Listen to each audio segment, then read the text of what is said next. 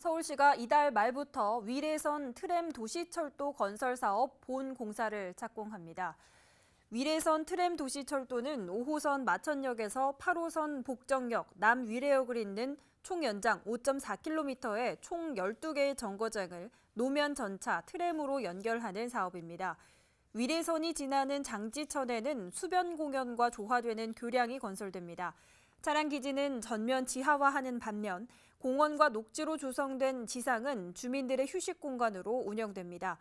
노면 전차 트램은 1899년 최초로 도입돼 1968년까지 약 70년간 운행된 바 있습니다. 오는 2025년 9월 개통이 되면 서울 트램은 57년 만에 부활됩니다.